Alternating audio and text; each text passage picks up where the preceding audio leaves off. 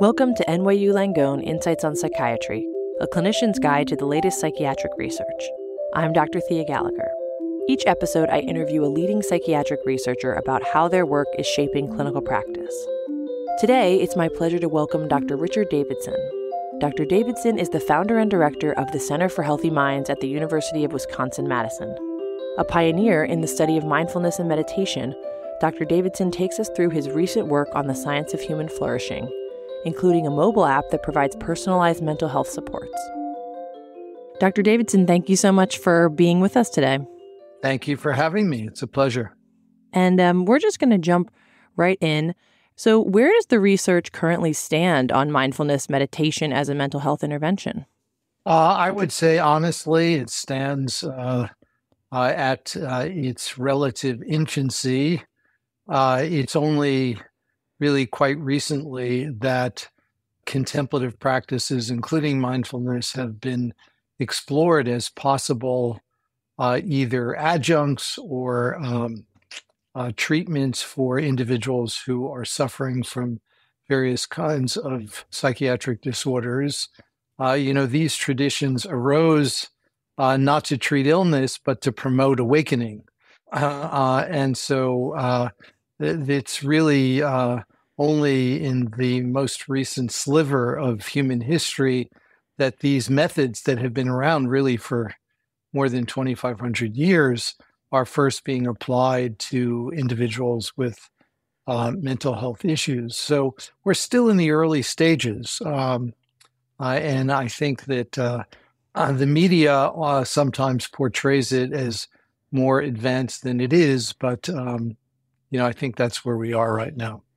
Yeah. And it, um, it's, you know, I know you've had a number of studies in the last few years really looking at measuring and the mechanisms of kind of what mindfulness and meditation are doing in the brain. Where are you currently focusing your research efforts? What we're most excited about right now, I, should say, I should back up and just say that our center, the Center for Healthy Minds at the University of Wisconsin Madison, is a large interdisciplinary research center. There are about 75 people working in the center just to give a sense of scale, there's a lot going on that ranges from basic research in a laboratory to applied work in real world settings. What I'm personally most excited about these days is the opportunity to scale well being.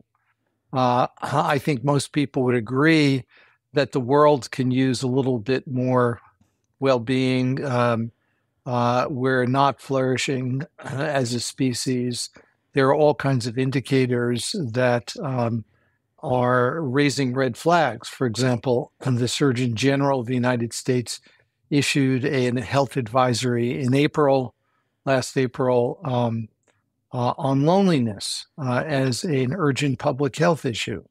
Uh, and some people may be surprised to learn that loneliness is uh, a greater risk factor for mortality than smoking 15 cigarettes a day.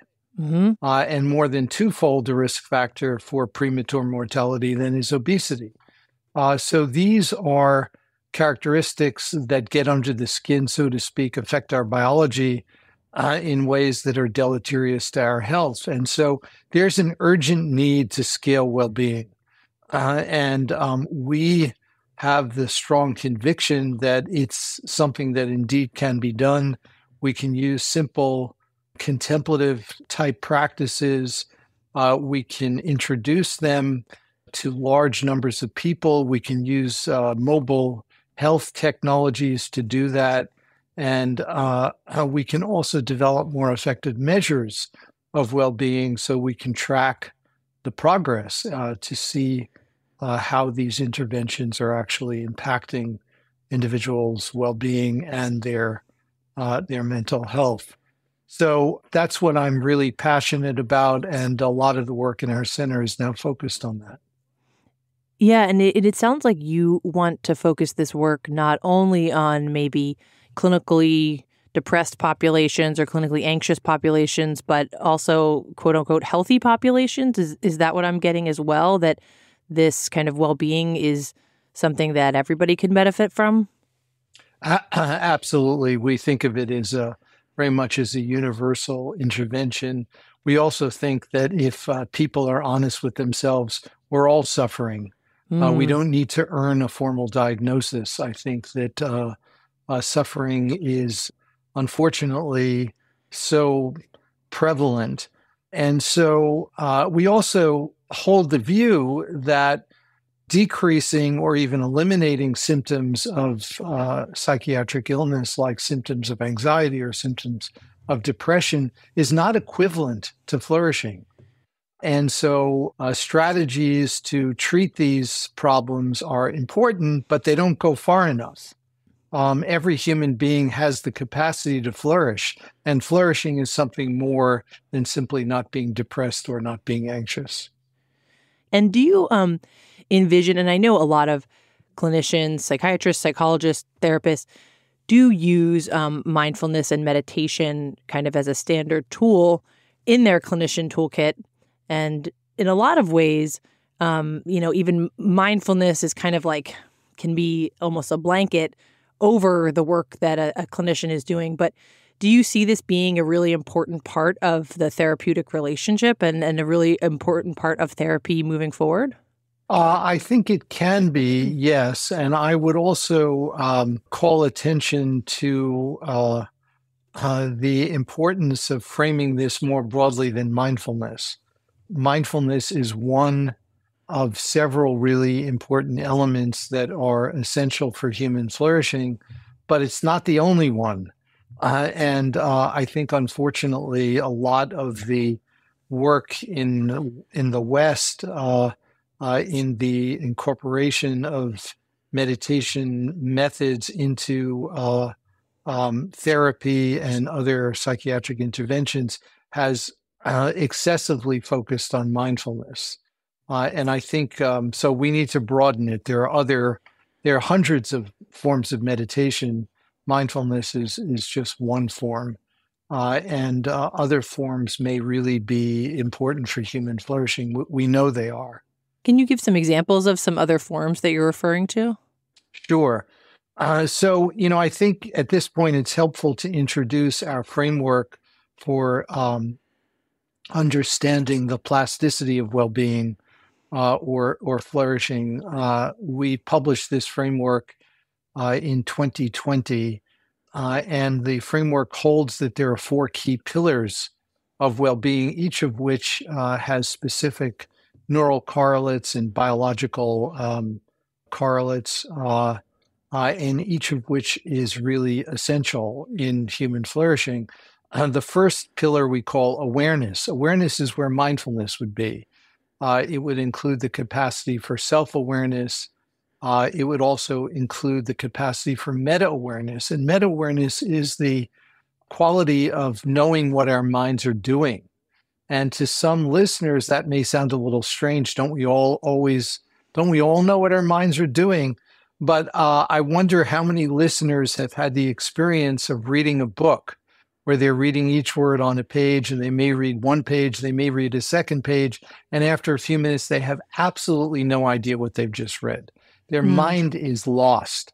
That's a good example of not knowing what our mind do, is doing. But the moment we recognize it is a moment of meta awareness. It's a moment of awakening.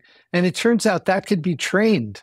And there are some people walking around who are meta aware all the time. Uh, and uh, meditation uh, uh is something that can really help with that. So, the second pillar of well being we call connection. Connection is about qualities that are important for healthy social relationships, qualities like gratitude, appreciation, mm. kindness, compassion. And there are specific practices that are designed to cultivate these qualities. Uh, we know that um, uh, humans come into the world with a preference for kindness and cooperation compared to selfishness and aggression, for example. But in order for these preferences to really um, become robust qualities, they need to be nurtured. And uh, there is a long tradition of practices that are designed to nurture these. Uh, the third pillar we call insight. And insight is about uh, a curiosity driven self knowledge. And mm. it's really knowledge about the self That is, we all of us have this entity that we construct in our minds called ourself. Uh, it's a narrative. It's a set of beliefs and a set of expectations about ourselves. And we know that uh, there are some people on, on the far end of a continuum who have very negative self beliefs and very, very negative uh, or low expectations of themselves. And of course, that's a prescription for depression. And one of the insights from the contemplative traditions is that what's most important for well being initially is not so much changing the narrative, but it's changing our relationship to the narrative mm-hmm. so hmm. that we're not hijacked by the narrative. We can actually see the narrative for what it is, which is a bunch of thoughts. Uh, it's not who we are, uh, it's not our essence. Uh, it's really this construction. And when we're able to see it that way, it provides some leverage and uh, we can be less hijacked by this narrative. And finally, the last pillar of well being is purpose. And mm. purpose is about identifying our sense of direction in life, uh, it's about clarifying our values. And it's not so much about finding something more purposeful to do, but how can we find meaning and purpose in that which we are already doing, including the pedestrian activities of daily living? Can uh, taking out the garbage be deeply connected to your sense of mm. purpose? Mm. And of course it could be. Uh, mm-hmm, it just mm-hmm. requires a little bit of reframing. And again, there are simple meditation practices designed to do this. So, unfortunately, in the West, most people equate meditation with mindfulness you know the dalai lama for example doesn't doesn't do mindfulness meditation. That's really not um, the kind of practice that he typically does. Uh, and um, uh, there are just uh, these rich um, practices that are part of these traditions that have received much less attention in the west but are um, really critical for promoting human flourishing I often use the metaphor of um, if you just focus on mindfulness, it would be like going to the gym and just working out on your upper body. You know, it'd mm. be good for your upper body, but uh, if that's all you're doing, after a while, it's going to actually lead to some imbalance. Mm-hmm. And is, uh, you know, from your research, do you feel like is there a certain amount of time to be spent in meditation that kind of makes these pillars more reinforced or kind of practiced or real? Like, is um, you know, meditation? I'm, I'm thinking meditation versus like living your life. Um, what's kind of is there a sense of how much time should be spent in kind of meditation practices?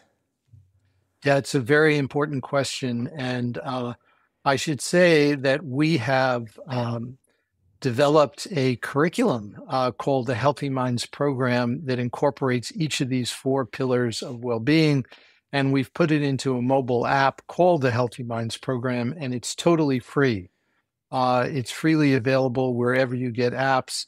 And the New York Times Wirecutter named it as one of the three best meditation apps for 2023. Uh, and it's uh, produced by a nonprofit organization that I founded uh, that's affiliated with our university center called uh, Healthy Minds Innovations.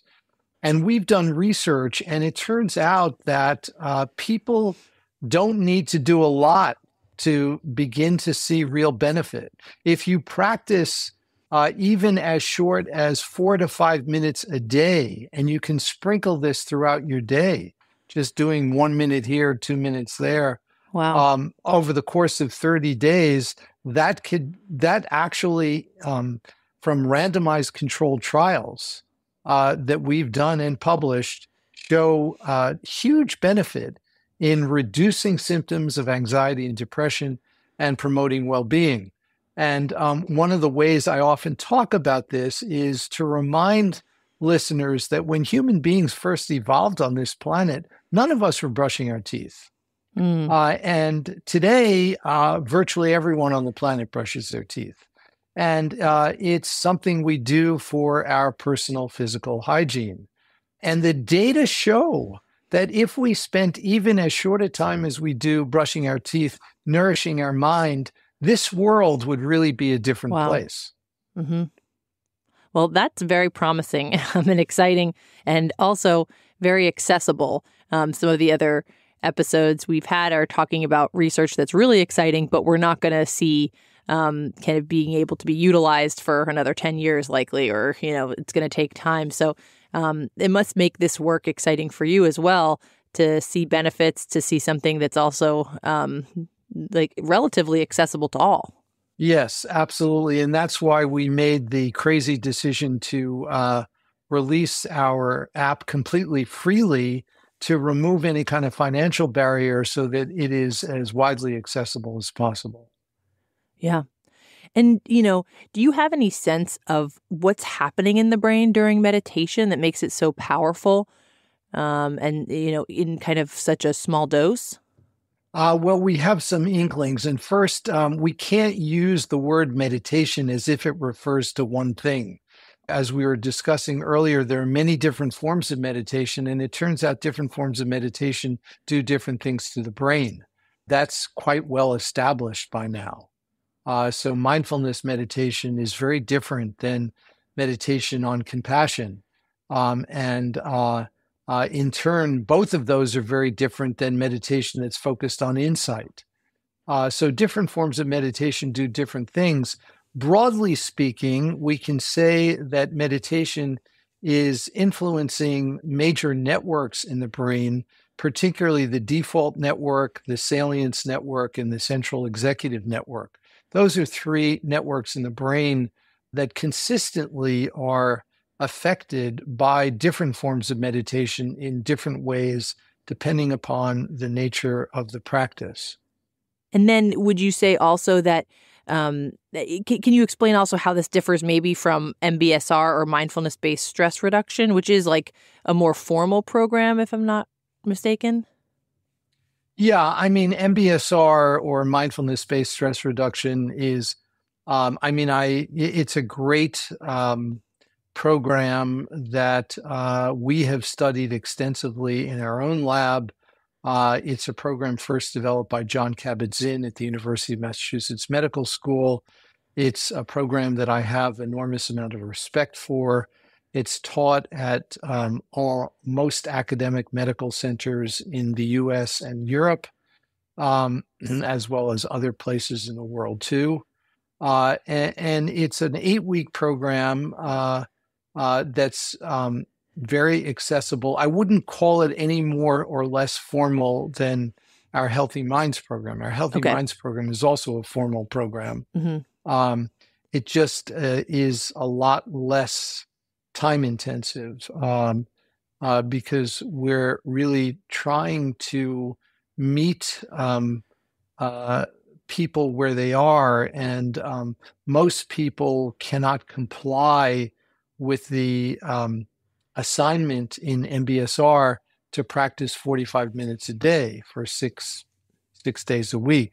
Um, you know, if you ask people uh, six months after they take an MBSR course, how many of you are practicing 45 minutes a day, six days a week? I think the percentage is very close to 0 mm-hmm. um, so, uh, you know, our interest is in getting people on a path where they can do something regularly every day, uh, and uh, where, um, and that for that reason, uh, the bar is much lower but you also think the bar being lower, but the um, effects are, would you say, longer lasting, or the effects are, or it's just maybe more sustainable because of the, you know, I think time is the four-letter word in our society. So, is there part yeah. of that that like the reduction of the time commitment might have more longevity for for like you know again a formal program, but less time intensive?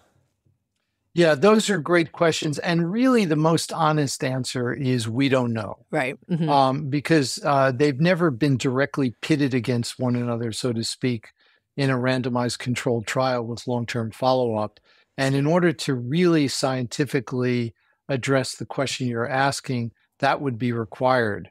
Uh, and uh, that's never been done uh, you know, it would be interesting to do at some point. I think both programs have their place uh, and their value. Uh, uh someone may start with our Healthy Minds program and do four to five minutes a day and find that they want more um, uh, and that it's really resonating with them. And at that point, they may go to uh, a mindfulness based stress reduction course and really get a lot out of it. So, you know, I think that they can work uh, in a very synergistic and complementary way. Yeah.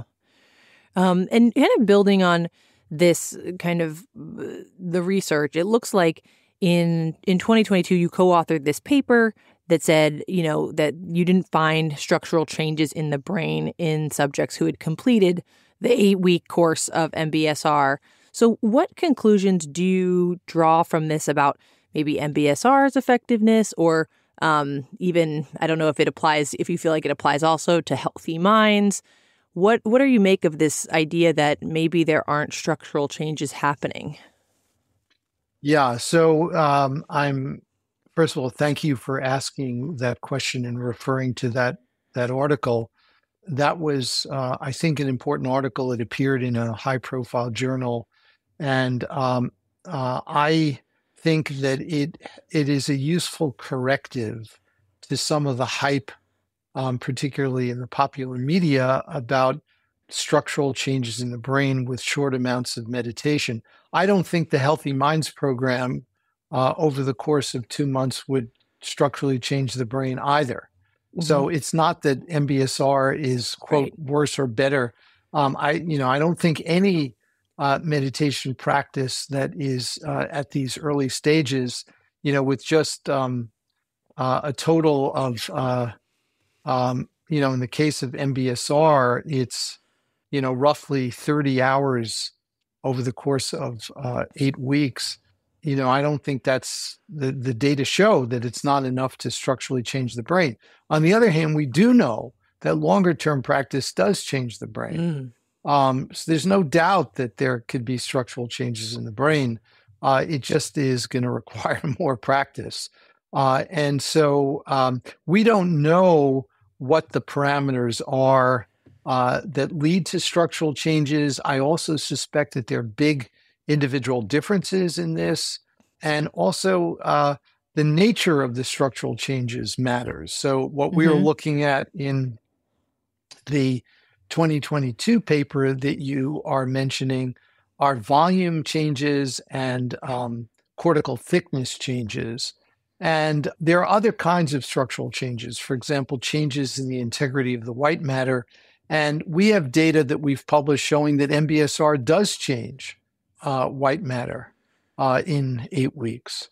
Uh, mm-hmm. And so, you know, it really depends on which structural changes you're talking about. Mm-hmm. And I guess my question is if people are identifying a benefit, like in, say, a self report measure, they're saying that they find that their life is maybe more manageable or they feel more positive symptoms or you know more positivity and they feel better does there do there have to be structural changes for it to be beneficial i guess no i don't think mm-hmm. there does have to be structural changes and that's a really critical question. And um, we know that mbsr produces functional changes in the brain. Uh, we know that even really short amounts of practice produce functional changes in the brain way shorter than mbsr uh, and uh, so the benefits that people are reporting likely have to do with functional changes in the brain.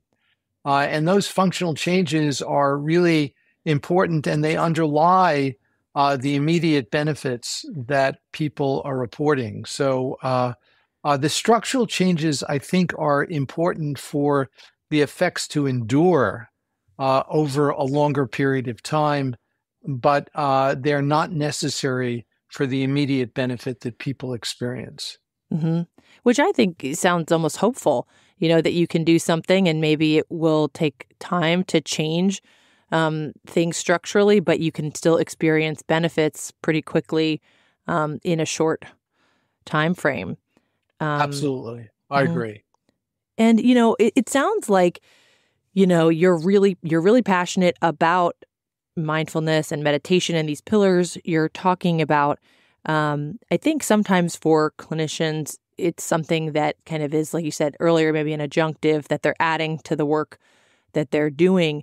Would you recommend that more clinicians maybe lead with mindfulness and meditation practices or have that be not just integrated or, you know, an adjunctive, but really a core part of the treatment that they're doing with with every individual?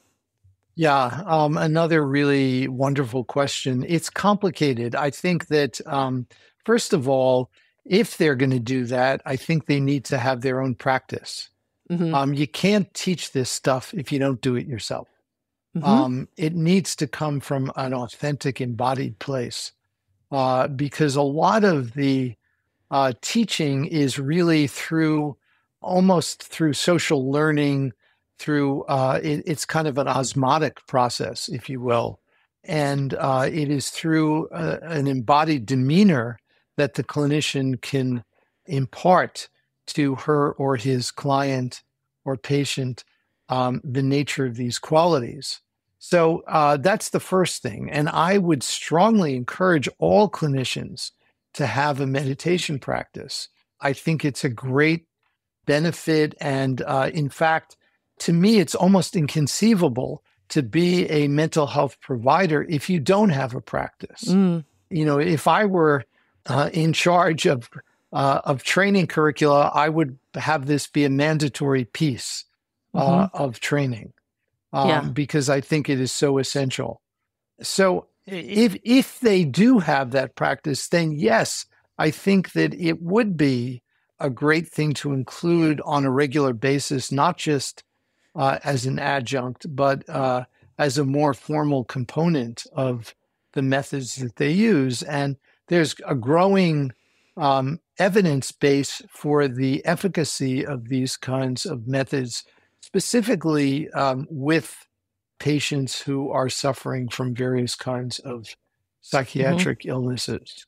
Yeah you know, and in, in the, you know, a lot of the work that I do with like exposure and response prevention for OCD, if you don't have OCD, it's kind of hard to, you know, have an exposure practice in your life.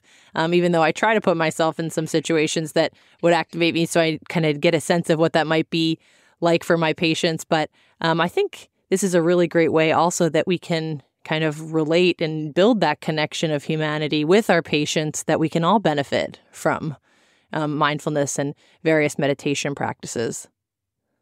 Yeah, I, I agree. And I think it's so important. And I think, uh, again, going back to our earlier discussion, I think if we're all honest with ourselves, you know, all of us are suffering in one way or another. And uh, uh, we all can benefit from a greater sense of well being and flourishing. I know you're working kind of to develop these algorithms that are, you know, kind of delivering these micro supports. Can you tell us a little bit more about this project? Yeah. So, um, uh, this is really a further extension of uh, some of the issues that we were discussing earlier um, uh, about the accessibility of these practices.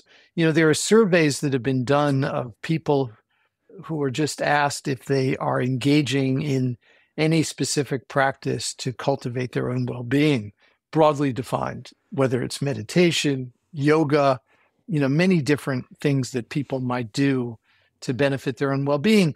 And um, pretty consistently in surveys done, at least in Western countries, what you find is that there's not more than around 15% of the population that's actively doing something to cultivate their own well being. 85% are not. And of those 85%, a large fraction don't even have the recognition that well being is something that can actually be improved mm. or be mm. learned. Um, so, uh, and you know, people like me uh, often find themselves in front of the already converted, so to speak. You know, people who already drank the Kool Aid. Um, mm-hmm. But, you know, frankly, I'm much more interested these days in spending time with the other 85%. Uh, and that's why we're working with people like police and firefighters and, you know, I- employees who are at call centers and stuff like that. These are people who might never have heard of these kinds of practices. And uh, we are exploring ways in which we could be of some benefit. Uh, and this is where micro supports come in. And uh, an example of a micro support are it's really a very short practice that can be seamlessly integrated with your everyday life. And by short, I mean one minute or less. Mm. And so, an example of this is this is an example from research we did during COVID with public school teachers in the United States, where we invited them to reflect on their purpose in becoming a teacher for one minute before they start the day. Spend one minute reflecting on your purpose. And it turned out that a very large fraction of teachers reported that this was an elixir for their soul. Wow. Uh, that they they got completely disconnected from their sense of purpose. And this simple invitation for one minute was really powerful in helping them navigate the challenges that they're facing. And we do this several times a day. We sprinkle it in. Another example of a micro support is before an important meeting with a group of colleagues or coworkers, spend one minute reflecting on something positive that each of these individuals have, has done over the last month. Just reflect on something positive that they've done. And it's amazing how one minute doing that can change the entire tenor of a meeting. These are examples of micro supports. Mm-hmm. So you don't have to meditate. You just have to be willing to engage with these micro supports. You don't have to sit in any special posture. You don't have to be in any special place. You can do this as you're navigating your everyday life. Yeah. Yeah, and and um you know, in some of my work with burnout and workplace wellness, I get some pushback sometimes about these kind of interventions. Like, you're not, you know, how can this solve the bigger problem, maybe of feeling overworked and undersupported? Or how also can it help if, you know, with all of the global crises that are ongoing? What what's your take kind of on like micro interventions being powerful, but then maybe some of these larger systemic issues? How do they interact or mm. relate? Yeah, so I think that's super important. And it's really important to recognize that there are these systemic injustices uh, and they do uh, affect our well being. It's not either or. Mm. So that's the primary answer. It's not either or, it's got to be both. Mm-hmm. Because if you are totally burned out, you will have your vitality sapped uh, and you won't be an effective social change agent. We need people who are operating on all cylinders in order to change the systemic injustices that we're all facing. And so it's got to be both. And so framing it as either or is really, I think, the wrong kind of framing. And it seems like you think there's a correlation between mindfulness and meditation and ultimately feeling more whole and having maybe more energy to engage um, in larger change. And specifically, I know that you feel passionately about pro sociality. Um, and so, even though a lot of these practices seem pretty individual, how do you hope they translate into greater, you know, social connection? Yeah. So uh, again, really important, and um, the role of social connection is huge. It is, you know, one of our four key pillars of well-being. We know it's intimately connected to well-being and flourishing. And one of the convictions that we have, and there's data to support this, uh, and that is that nurturing connection will help in real social connection and engaging in social connection um, uh, meaningful social relationships will in turn help nurture these qualities. It's it's bidirectional, and so I think that uh, this is something that really um, uh, is uh, important, and the data speak to the value of these practices in nurturing real social connection that can combat loneliness. Yeah, and just the image, in, you know, in my mind that we use a lot, but like you kind of can't pour from an empty cup. So almost being able to, the more you can nurture the the aspects of your humanity that seem to lead to flourishing and thriving, they can then lead to um, community engagement, whether that's in your familial community or a larger work community or even you know a global community. Right. So, you know, in my final question, where do you hope, um, you know, to see the research go in the future? What are you What are you hoping for? What do you hope to see in the next five to ten years with the work that you're doing? Well, uh, I, there are a few things. One is uh, we, I think, will have much better measures of well-being that uh, we can um, track on a more granular basis. Uh, this can provide us with important information to provide micro supports in the moment uh, in a context appropriate way uh, that can really be of great benefit. I also see the possibility of massive scaling. Uh, one of the dreams I have is of a flourishing city where we can work with a city uh, with uh, a number of key sectors simultaneously. For example, healthcare, education, first responders, communities of faith, uh, city government, and the workplace. We, we've worked with all of those sectors individually, but we've never worked with all those sectors simultaneously. Uh, and if we can um, bring this to a mid sized city, for example, we can look at distal outcomes that really matter that we think are mediated by well being. So, what would ex- an example of a distal outcome be? A distal outcome might be crime rate in the city suicide rate, life expectancy, healthcare costs. All of those are targets that we actually believe can be moved when a sufficiently large fraction of the population is nourishing their mind in addition to brushing their teeth. Yeah, and um, it's such inspiring and exciting work that is accessible to all, which is I, I think it's pretty rare um, in the work many psychiatrists are doing. So thank you so much for sharing this work with us. And um, you've not only shared it on this podcast, but with your Healthy Minds app that everybody can download and utilize. Um, and so thank you so much, Dr. Davidson, for all of this great information. Thank you so much. Pleasure to be with you. Thanks so much for that conversation, Dr. Davidson. If you enjoyed this episode, be sure to rate and subscribe to NYU Langone Insights on Psychiatry on your podcast app. For the Department of Psychiatry at NYU Langone, I'm Dr. Thea Gallagher. See you next time.